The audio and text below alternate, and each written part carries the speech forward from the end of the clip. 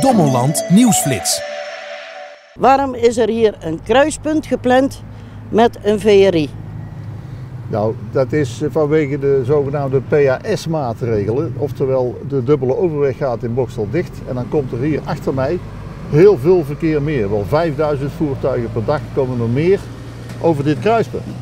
En dit kruispunt is eigenlijk al voor ons Lennesheuvelenaren een heel gevaarlijk kruispunt. Het is namelijk een kruispunt waar de fietser geen voorrang heeft. Overal in Bokstel wel, maar hier niet. En dus het is iedere keer maar een gokje, stopt hij of stopt hij niet die auto. En dat maakt het nu al gevaarlijk, maar straks natuurlijk met al die vrachtwagens nog veel meer. Komt dat omdat de wegmarkering niet goed is? Nee, dat komt omdat men natuurlijk niet weet van uh, wie stopt er, wie stopt er niet. Normaal moeten ze overal in Bokstel stoppen voor zo'n uh, rotonde, voor de fietsers.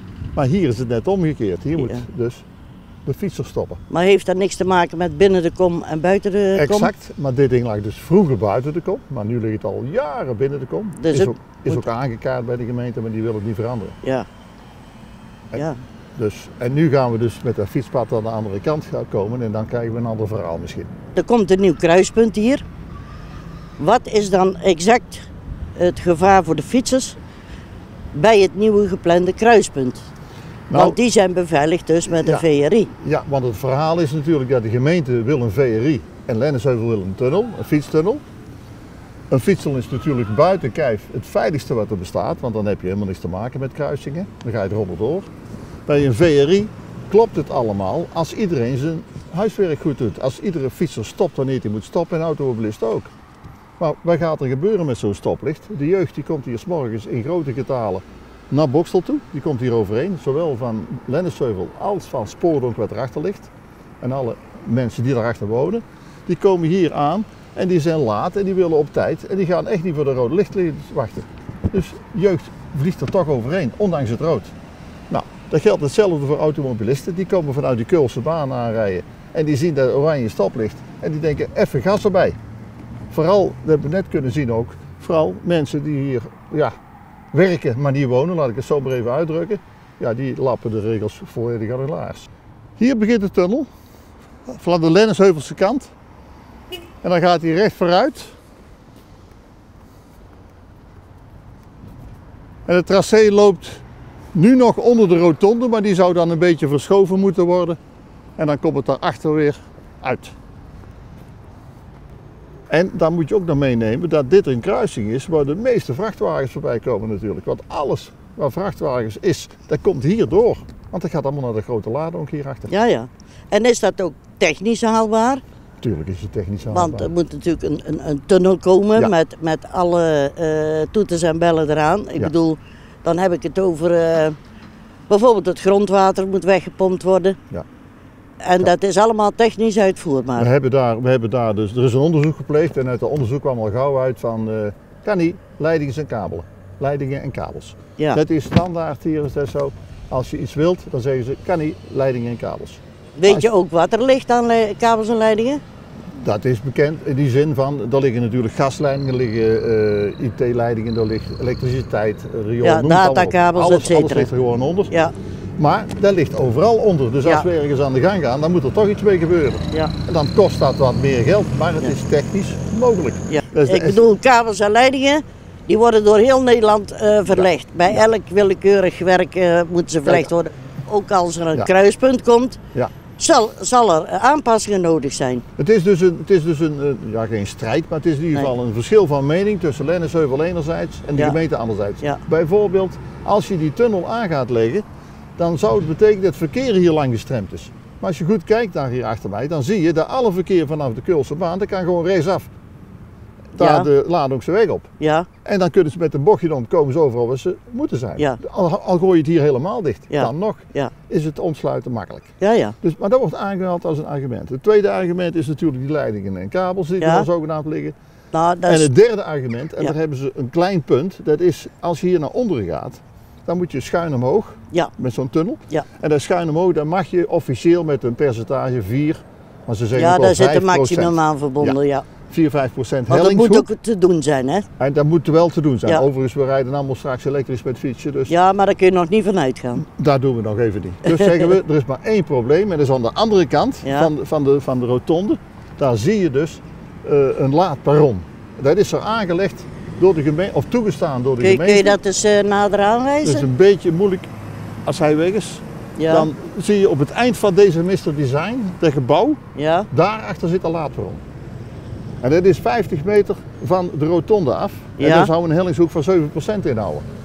Maar wanneer je die rotonde omhoog Even doet, wachten, wat houdt de, de, eh, 7% hellingshoek in? dat wil zeggen de, de helling van, van dat je omhoog moet. Ja, Maar je weet hoe dat gaat met, met een tunnel. Je gaat eerst, maak je snelheid Ja, naar beneden ja, en dan naar boven. uiteraard. En dit is maar een hellingje van 50 meter. Ja, Dus dus echt niet zo'n grote. ja, Vergelijk de Ossenpadtunnel, die is 115, 140 meter. Ja. Die is gewoon drie keer zo lang. ja, Ja, dan sta je te ploeteren.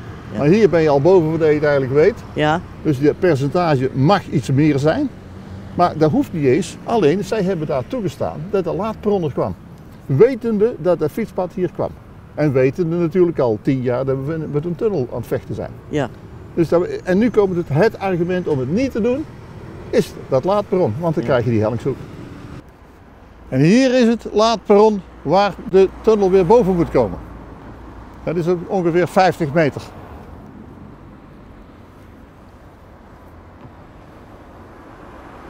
Ja, ja. En dat, is dus, en dat kan ook opgelost worden. Je kunt het plateau omhoog brengen.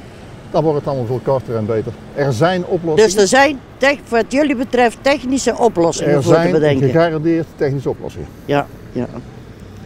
En dan eh, nog iets. De, de geraamde kosten voor, een, een, Ja. voor zo'n fietstunnel. Ja, dat wil ik, ja, ik wil dat niet onvermoeid laten. Hè? Ja.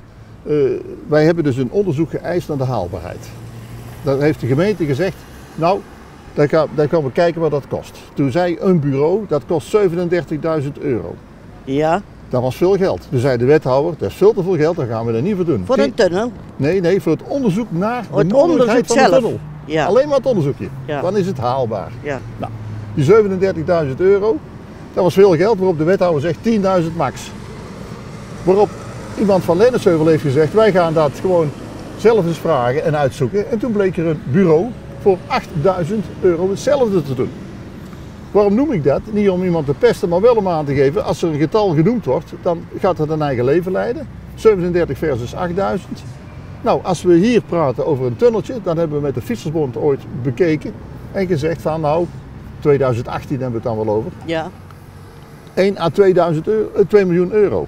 ja, Nou gaan we verder, dan moeten we misschien wel 3 miljoen euro zeggen. ja. Maar niet de 5 die de gemeente weer noemt. Nee, nee. Die zetten daar weer hup, Dus daar omhoog. zit een discrepantie in, eh, in, Wat- wat, in wat de gemeente Ja. zegt dat het gaat kosten. En, ja, en, waarvan volgens jullie onderzoek dus- ja, onder bescheiden mening, hè? maar we hebben dus Ja. gewoon gepolst links Ja, en rechts van ja. wat heeft het appel gekost. Ja, een mening, maar dat is nog geen, geen, geen echte berekening, Echte berekening geen wij- calculatie. is ook niet te doen op dit moment, want Nee, ja, de nee. prijzen reizen de pan uit. ja, het is eh, al achterhaald voordat je het op papier hebt Daarom. staan. En je, moet ook, het ding maar je goed. moet wel ergens van uitgaan. je moet er ergens van uitgaan en je moet dan ook zeggen van waarom willen ze ze weg. En er zijn andere dingen die ook miljoenen allemaal kosten die er dus binnen de PAS gelden, zou daar ruimte voor kunnen zijn. Ja, ja. Als ze dingen niet doen die ze nou ja precies.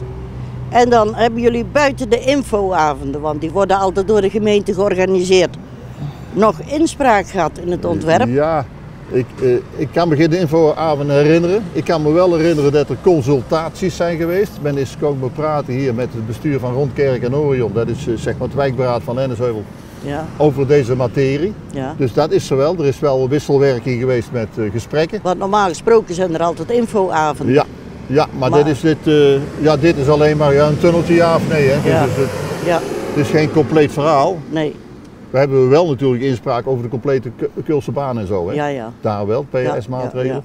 Dit kleine onderdeel niet. niet. Ja. En eh, wat gaan jullie doen als de gemeente blijft volharden in hun standpunt? Er Ja. komt geen tunnel. Nou, wij, ik, ja, ik heb zelf ook nog even in die raad mogen proeven. Ze. Ja. dus het gaat er gewoon, de gemeenteraad bepaalt. Ja.